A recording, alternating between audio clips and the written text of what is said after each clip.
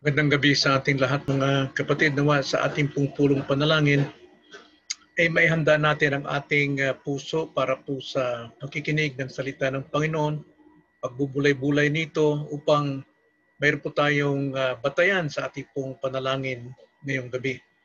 Bago lahat tayo muna ay manalangin.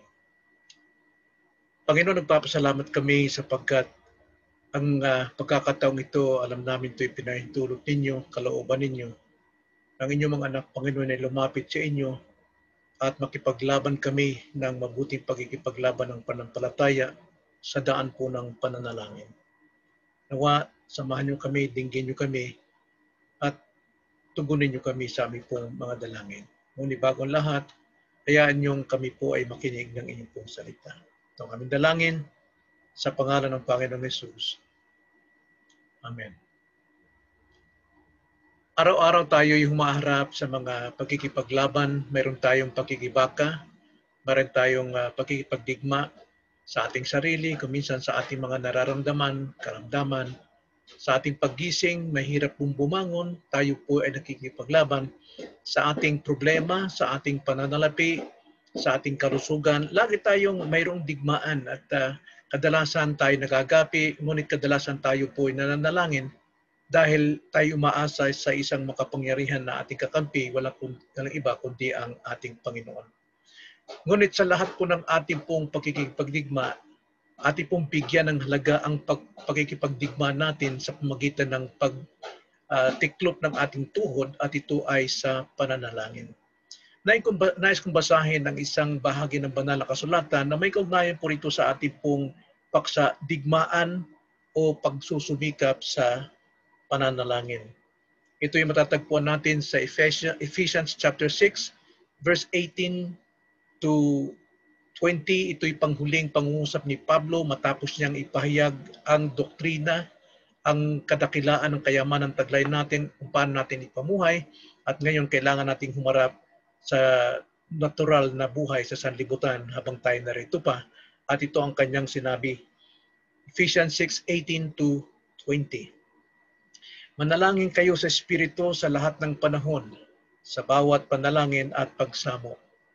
At sa bagay na ito ay maging handa na may buong pagtsatsaga at pagsusumamo para sa lahat ng mga banal.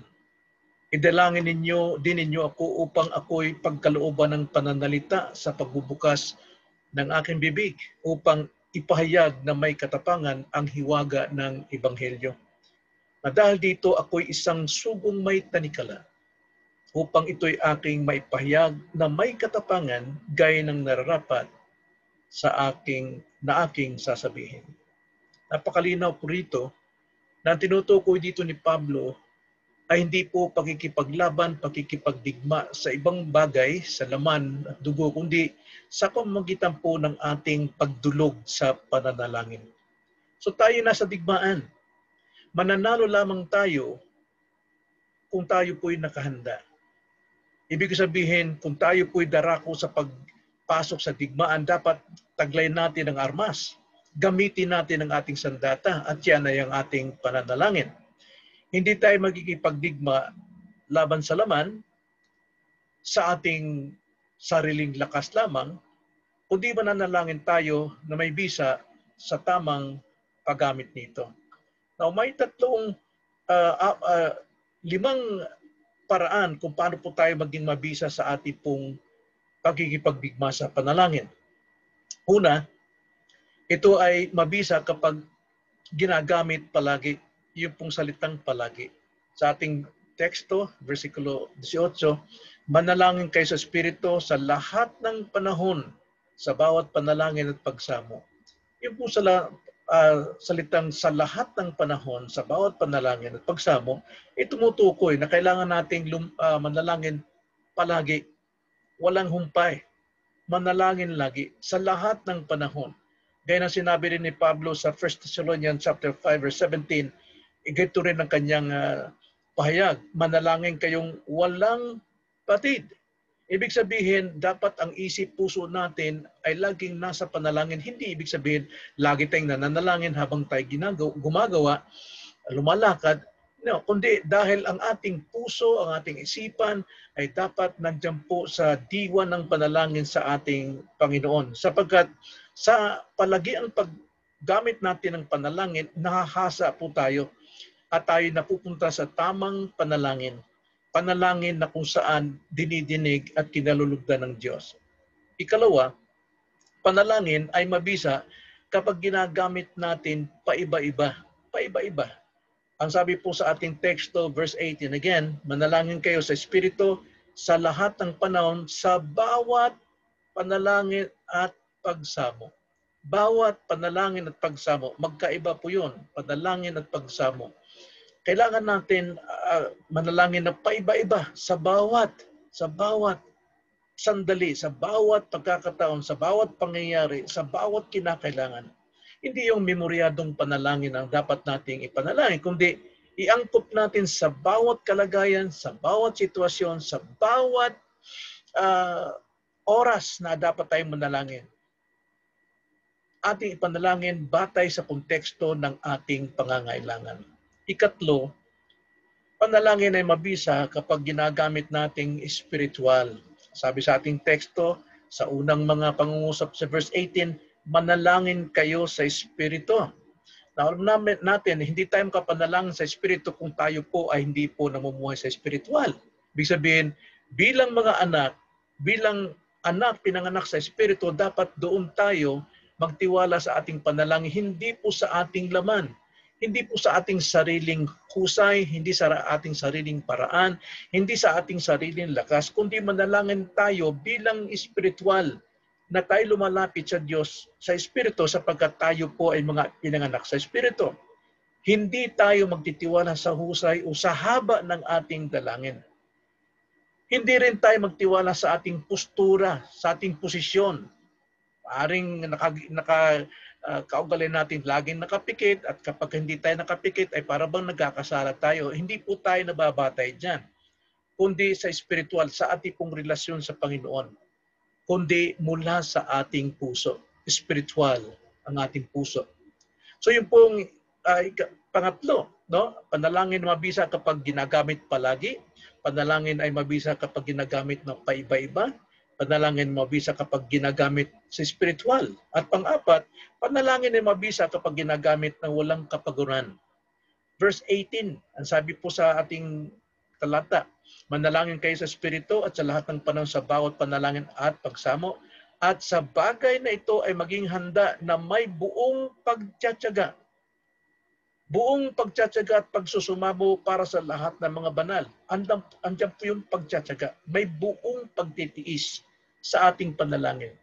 Gaya nga sabi ni Pablo tungkol kay Epaphroditus, kapag kananalangin po si Epaphroditus, Colossus 4.12, ganito po ang pagkakasabi, I mean ni Ipapras. Ganito ang pagkakapaliwanag ni Pablo kung paano manalangin si Ipapras. Ang sabi sa Colossus 4.12, binabati, binabati kayo ni Ipapras na isa sa inyo na alipin ni Kristo Jesus na siyang laging nagsisikap yung nagsisikap po dyan, nakikipagtunggali, nakikipag-labor.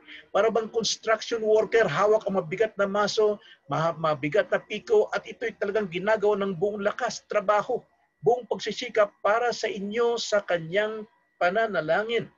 Yung po ang ibig sabihin po ng pagsisikap, walang kapaguran ang panalangin. Nagbabantay o laging tumatawag uh, ng hindi po napapagod, hindi po nagsasawa, hindi pinanghinaan walang panghihinawa.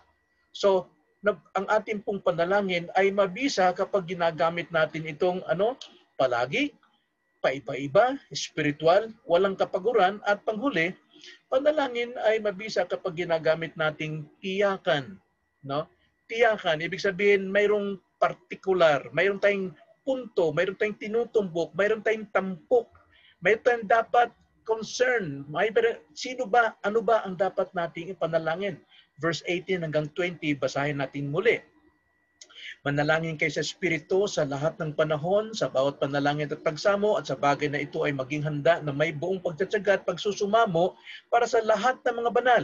Yung po una, para sa lahat ng mga bandal, yung po ang ating dayunin. Mananalangin tayo para sa ating mga kapatid, para sa lahat ng banal.